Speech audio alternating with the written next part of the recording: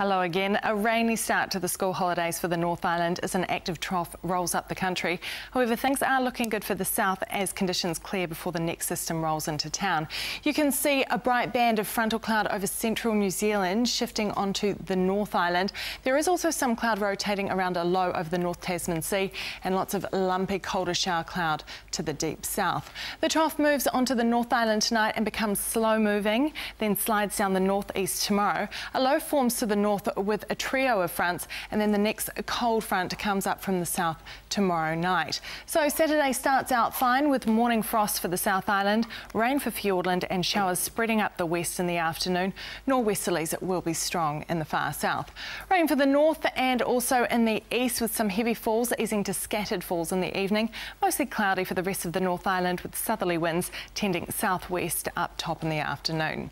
Increasing high cloud with evening rain for most of this group, strengthening nor'westerlies. Alexandra dropping to minus three overnight.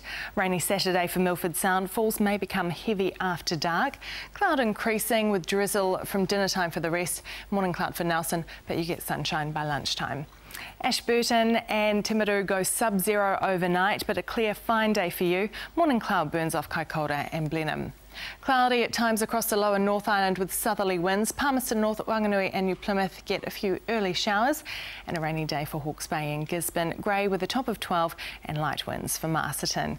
And heavy rain across the centre north, easing in the evening with the southerly change. Taupo, Tokoroa and Rotorua aiming for a top of 12. And the north gets a rock and roll start to the weekend with heavy rain and thunder at first. Strong southwesterlies develop across the day and a high of 15 for everyone here. Increasing high cloud for you Dunedin with strengthening nor'westerlies becoming gusty from afternoon and a top of 12 for you. Christchurch is fine and frosty at first, northerlies developing in the morning and a high of 11 degrees.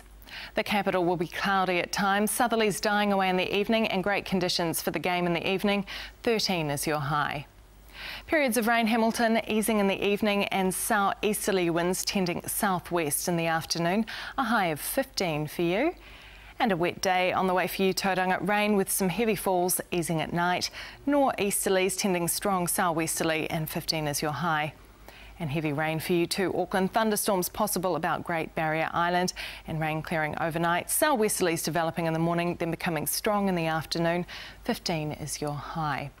Shower or two for Perth, Hobart and Melbourne. Adelaide gets a cloudy day, while it's mainly fine elsewhere over Australia.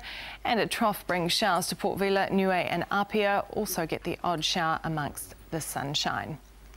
Looking ahead to Sunday, a few showers in the west of the North Island, fine spells around Wellington and rain clearing elsewhere. South Island rain or showers in the west and south with some heavy falls in Fiordland and Westland. Westerly gales about the south coast.